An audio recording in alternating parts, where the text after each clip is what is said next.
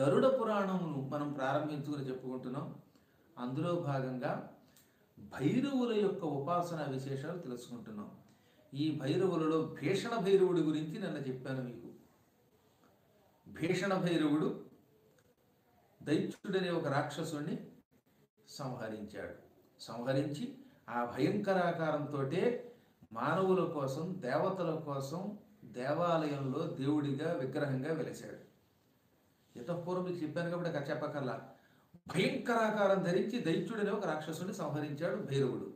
అప్పుడు దేవతలు ఉన్నారు ఇదే రూపంతో నువ్వు కలియుగాంత వరకు మానవులకి దర్శనమియ్యి అన్నారు. అప్పుడు ఆయన ఆ భీషణ రూపంతో ఒక విగ్రహంగా మారి స్వయంభూ విగ్రహంగా మారి కొలువయ్యాడు. ఆయన్ని దేవతలంతా విశ్వకర్మ సాయంతో ప్రతిష్ఠించారు ఒక ఆలయంలో.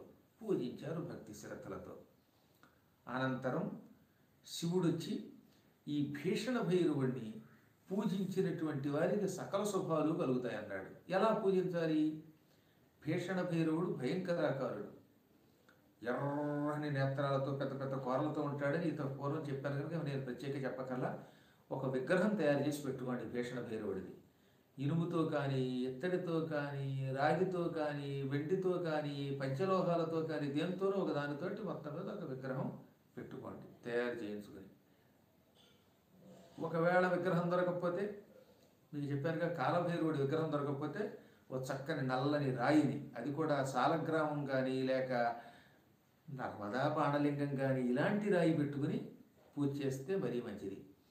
ఇలాంటి రాయికి కాస్త గంధము బొట్టు పెట్టి విభూతి పూసి దానిని ఒక పళ్ళెంలో పెట్టుకొని మూకుడులో పెట్టుకొని అది కూడా మట్టి మూకుడు కానీ లేక పంచలోహాల మూకుడు కానీ ఏదో దాంట్లో పెట్టుకొని భీషణ భైరవమావాహయామి స్థాపయామి పూజయామి అనండి. వెంటనే భీషణ భైరవుడు అందులోకి వచ్చి కూర్చుంటాడు. ఇలా భీషణ భైరవుడు అందులోకి వచ్చి కూర్చున్నాక యథాశక్తిగా ధ్యానాది షోడశోపచారాలు చేయండి. భైరవులందరికీ కూడా ఒక్కొక్క శ్లోకాలు ఉన్నాయి. ఆ శ్లోకాలన్నీ అక్కర్లేదు మనకి. కాశికాపురాధినాథ కాలభైరవం భజనే అష్టక ముందుగా ఆ శ్లోకం చదివేసి ధ్యాయామి ధ్యానం సమర్పయామి ఆవాహయామి ఆవాహనం సమర్పయామి మొదలైనవన్నీ చదవండి. స్వామివారిని ప్రత్యేకంగా పసుపు నీళ్ళతో కుంకుమ నీళ్ళతో అభిషేకించండి. భీషణ భైరవుడికి పసుపు నీరు కుంకుమ నీరు అంటే చాలా ఇష్టం. ఒక గ్లాసులోకి కానీ చెంబులోకి కానీ నీళ్ళు తీసుకుని అందులో పసుపు కలిపి తర్వాత కుంకుమ కలిపి ఈ నీళ్ళతో ఏకధారగా అభిషేకం చేయండి. మహన్యాసాదులు వచ్చిన వాళ్ళు లేక నమక చమకములు తెలిసిన వాడు వాటితో అభిషేకించండి. అవేమీ రాకపోతే కేవలం ఓం రురు రురు భీషణ భైరవాయ నమ అనే మంత్రంతో అభిషేకించండి. అభిషేకించిన ఈ నీళ్ళు ఇంటి చుట్టూతా ఉన్న ప్రాంగణంలో పోసేస్తే ఇక ఇంట్లోకి దుష్టశక్తులు ఎక్కడొస్తాయండి? కాలభైరవుడు యొక్క అనుగ్రహం ఉంటే దుష్టశక్తులు రమ్మంటే రావు. ఇవన్నీ వ్యర్థమని ఒక మూర్ఖుడి మధ్యకాలంలో చెప్పాట. పూజలొద్దు అవిరేవి ఇవిరేవని మనకెందుకు ఆ గడ్డి పరకలు చేస్తారు? కానీ మనం భగవంతుని నమ్మాం మంత్రశాస్త్రాలు నమ్మాం. ఇవి చేయటం పెద్ద ఖర్చుతో కూడింది కాదు కష్టం కాదు. ఇంట్లో ఉండి అందరూ చేయొచ్చు. చేస్తే ధరిస్తాం మనం. వాడు గుర్తుపెట్టుకోవాలి. భగవంతుడైన విష్ణువు పూజ చేశాడు. రామచంద్రుడు అర్చనలు చేశాడు. కృష్ణుడు అర్చనలు చేశాడు. అమావాస్యాది తిథులు వస్తే కృష్ణుడు కూడా కురుక్షేత్రం ప్రభాస క్షేత్రం అక్కడికి వెళ్ళి దాన ధర్మాలు చేశాడు స్నానాలు చేశాడు గ్రహణ స్నానాలు ఏం వాళ్ళకంటే మనం గొప్పవాడు అనుకుంటారా భగవంతుడైన కృష్ణుడి కంటే మనం గొప్పవాడమా? కాదు. అయినా మన అజ్ఞానం వల్ల ఎవడన్నా నాస్తికుడు ఈ స్నానాలు వద్దు పూజలు వద్దంటే అంటే ఆ భ్రమలో పడిపోతూ ఉంటాం. ఈ కర్మకాండాలను విడిచిపెట్టిన వాడు నాస్తికుడైపోతాడు ఈ మానవులకు బలహీనత ఏమిటో తెలుసా? కొద్ది రోజులు అభిషేకం చేసి కొద్ది రోజులు పురాణం విన్నాక ఎప్పుడూ పురాణాలు వెంటనేనా ఎప్పుడు ఈ పొద్దున లేచి పూజలు చేయడమేనా? ఎప్పుడు లేకపోతే స్తోత్రాలు చదవడమేనా? ఇంకేదైనా పరమార్థం ఉందా అనిపిస్తుందిట వీటిని విడిచిపెట్టి ఏదో పిచ్చి మార్గంలో గడతాడు. దాంతో అక్కడ బాగుపడ్డ ఇక్కడ బాగుపడ్డ నాశనం అయిపోతాడు ఈ మధ్యకాలంలో అలాంటి చాలామంది తయారయ్యారు. వాడు వచ్చి పెరమిట్ అంటాడు వాడు వచ్చేమో ఉంటే అంటాడు. ఒకడు వచ్చి కళ్ళు మూసుకుని శ్వాస మీద ధ్యాస చాలంటాడు ఇలా ఇవన్నీ కూడా భాగాలనే విషయం మర్చిపోయి అది ఒకటే పట్టుకుంటాడు దాంతో భ్రష్టుడైపోతాడు అనమాట ఈ అష్టాంగ యోగ మార్గాలు కానీ ఈ అర్చనలు కానీ ఇవన్నీ కూడా భగవంతుడి పొందడానికి అనేక మార్గాలు ఇవన్నీ. ఇందులో ఏది విడిచిపెట్టే వాడు భ్రష్టుడవుతాడు మన శరీరంలోకి విటమిన్లు వెళ్ళాలి వద్దా? పులుపు కారము తీపి ఇవన్నీ కొంచెం కొంచెం కొంచెం ఎంత అవసరమో అంతా వెడితేనే శరీరం నిలబడుతుంది. ఇవన్నీ స్థితి దాటిపోయిన పరమాత్మ స్వరూపుడైన మహాయోగికి వక్కర్ల కానీ ఆ యోగ స్థితి రానంత వరకు ఇవన్నీ అవసరమే. కాబట్టి తప్పక మనం ఈ అర్చనాదులు చెయ్యాలి. అందువల్ల పసుపు నీళ్ళతో కుంకుమ నీళ్ళతో అభిషేకం చేసి వాటిని ఇంటి చుట్టూ పోయండి ఇంటికి ఉన్న దృష్టి దోషాలు వాస్తు దోషాలు అన్నీ శమించిపోతాయి. మహాభయంకరమైన దుష్ట శక్తులు తొలగిపోతాయి. మనకున్నటువంటి శత్రువులు మిత్రులు అవుతారు. ఆ తర్వాత భీషణ భైరవుని చల్లార్చడం కోసం తెల్లని పువ్వులతో పూజ చేయండి. నందివర్ధనం మల్లె పువ్వుల వంటి పువ్వులతో పూజించండి. ఈ పువ్వులు పూజ అయిపోయాక ఎండిపోయిన పువ్వులు మర్నాడు తీసి వీటిని దొడ్లో ఏదైనా చెట్లో కానీ లేక గోతిలో కానీ వేసేయండి. సాధ్యమైనంతవరకు ఇంటి పెరట్లో వాటిని నాటేస్తే ఆ పువ్వులు పాతి పెట్టేస్తే అంటే ఈ మాలిన్యం అంతా ఇంటి పెరట్లో ఎక్కడో చోట తొక్క చోట వేస్తే ఆ మాలిన్యం వల్ల మన మనోమాలిన్యం తొలగిపోతుంది. మనస్సులో ఉన్న కుళ్ళు ఊహలు ఆలోచనలు తొలగిపోతాయి. మనకి ఆరోగ్యం లభిస్తుంది. చాలా మంచిదట అది. అసలు పూర్వకాలంలో ఇలాంటి వాటిని పొలాల్లో కలిపేవారు.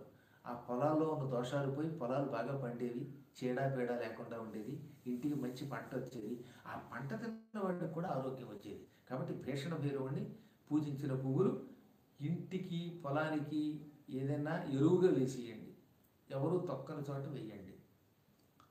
ఈరోజు కాలభైరవునకు పులగము నైవేద్యంగా పెట్టండి. పులగం అనగా పెసరపప్పుతో వండిన అన్నం. నెయ్యి పెసరపప్పు ఇవన్నీ కలిపి బియ్యం ఉడకబెట్టి అన్నం వండుతారు. దాన్ని పొలకం అంటారు. భలే ఉంటుంది మంచి రుచిగా. కాస్త ఉప్పు అవి కూడా వేయాలండి నేను నెయ్యి పెసరపప్పు బియ్యం వేసి వండేసి పెట్టేయమన్నారని పెట్టేయకండి. ఎంత కావాలో అంత ఉప్పు అవన్నీ వేయాలి. వేసి పైన కాస్త నెయ్యి వేస్తారనమాట కొంతమంది దానిపైన ఇంత బెల్లం ముక్క కూడా పెడతారు. మా చిన్నప్పుడు మా అమ్మగారు మంచి పెసరపప్పు అన్నం ఎత్తడి గిన్నెలో వండి పైన ఇంత బెల్లం ముక్క నైవేద్యం పెట్టి ఆ తర్వాత ప్రసాదం మాకు పెట్టేది ఎంత రుచిగా ఉండదో దీన్ని శ్రద్ధౌదనము అంటారు. ఈ అన్నం కాలభైరవుడికి పెట్టి దాన్ని తింటే శరీరంలో తీవ్రంగా ఉన్న ఉష్ణం తగ్గిపోతుంది వేడి తగ్గిపోతుంది వేసవకాలంలో ఇది తిన్నటువంటి వాడు ఆరోగ్యం బాగుపడుతుంది. భీషణ భైరవుడు మన కడుపులో ఉన్న భీషణత్వం తొలగిస్తాడు.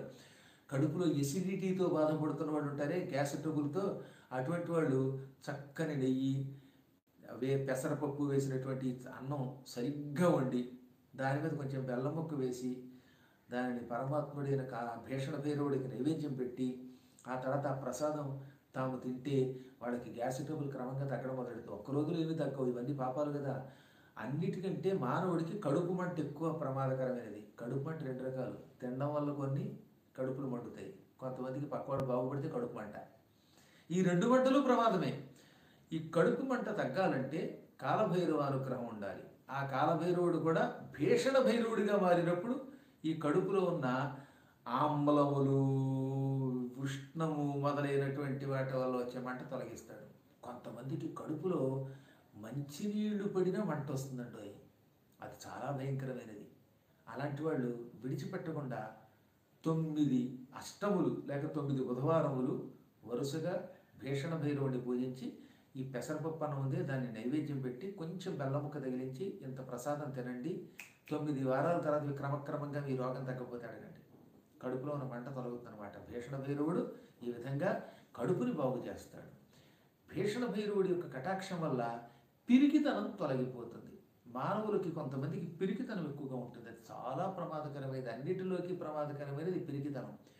తన నీడను చూసి తానే భయపడతాడు కొంతమంది. కొంతమంది బయటికి వెళ్ళాలంటే భయపడతారు. కొందరికి రోగ భయం కొందరికి ధనం పోతుందనే భయం కొందరికి ఏమో ఆరోగ్య భయం కొంతమందికి ఇంట్లో భార్య భయం కొందరికి భర్తృ భయం పిల్లల భయం. ఇలా నిత్యం భయంతో బతికేవాడు. భీషణ భైరవుణ్ణి పూజించినట్టే ఇది అటువంటి వాడికి ఆ పిరికితనం పటాపంచలైపోతుంది. ఈ భీషణ భైరవుడు దైత్యుడని రాక్షసుని చంపిన కథ ఉంది కదా? ఈ కథని తమంత తాము చదువుకున్నటువంటి వాళ్ళకి కుటుంబం అభివృద్ధి అవుతుంది తగాదాలు తొలగుతాయి. గురువుల ద్వారా విన్న వాళ్ళకి ఇంకా ఎక్కువ శక్తి వస్తుంది. అందుకే నిన్న మీకు ఈ కథ చెప్పాను కదా ఈ కథని మళ్ళీ ఒకసారి యూట్యూబ్లోకి వెళ్ళి వినండి. భీషణ భైరవ కథ భక్తితో అష్టమి నాడు బుధవారం నాడు విన్నవాడు పూజ చేసిన రోజు విన్నవాడు అతి భయంకరమైన కుటుంబ సమస్యల నుంచి బయటపడిపోతాడు. చదవడం వినడం ఒక ఎత్తు అయితే ఈ చదివి విన్న తర్వాత మా గురువు గారు ఈ కథ ఇలా చెప్పారు అని ఇతరులకి చెప్పేవాడు ఇంకా ఎక్కువ పుణ్యం పొందుతాట చదవడం కంటే వినడం కంటే ఇతరులకు చెప్పడం మరింత పుణ్యం. ఆ చెప్పేటప్పుడు మళ్ళీ గురువు గారు చెప్పారని ఆయన పేరు చెప్పి చెప్పాలి. కొంతమంది వాళ్ళ సొంత పెత్తనంతో మేమే చెప్పేసామని చెప్పేస్తారు. అది మరీ ప్రమాదం. ఈ మధ్యన వ్యాసాలు అలాగే ఉంటాయిగా నేను కష్టపడి వ్యాసం రాస్తే నాకు తెలియకుండా నా పేరు తీసేసి కొంతమంది రాసేస్తున్నారు. ఎంత దారుణం అంటే దసరాల్లో ప్రత్యేకంగా ఒక వ్యాసం రాసి మా భక్తుల కోసం ఇలా నైవేద్యం ఇవి పెట్టండి అవి ఇవి అని రాశాను. దాన్ని యాజ్ ఇట్ ఈజ్గా ఒక ఆయన కాగితం కాగితం కింద తన పేరు మీదుగా వ్యాసం కింద ఒక పత్రికలో ప్రకటించేసుకున్నాడు ఏం చెప్పమంటారు చెప్పండి ఇలాంటి దుర్మార్గులు ఉంటారు. అలాంటి మహాప్రమాదం. కాబట్టి ఎప్పుడైనా మనం ఒక వ్యక్తి వ్యాసం ఇతరులకు చెబుతున్నప్పుడు ఒక వ్యక్తి చెప్పిన కథ చెప్తున్నప్పుడు ఇదిగో మా గురువుగారు ఈ కథ చెప్పాడు ఆ గురువుని తెలుసుకుని ఇతరులకు ఆ కథ వినిపిస్తే దానివల్ల అనేక శుభములు కలుగుతాయి అన్నమాట కాబట్టి మీరందరూ కూడా భీషణ భైరవుణ్ణి అత్యంత భక్తి శ్రద్ధలతో పూజించండి. అవకాశం ఉన్నప్పుడల్లా రోజు గెలవ చేయలేం కదా. ఏదో అష్టమి బుధవారం వచ్చినప్పుడు చేస్తాం. ఇంకా ఆఖరి భైరవుడు ఒక ఆయన మిగిలాడు మనకి సంహార భైరవుడు. ఇంతవరకు మనం వరసగా భైరవులలో ఎవరెవరేవి ఎన్ని ఏ ఏ రకాల రూపాలతో ఉంటారో అవన్నీ చెప్పుకున్నాం మనం.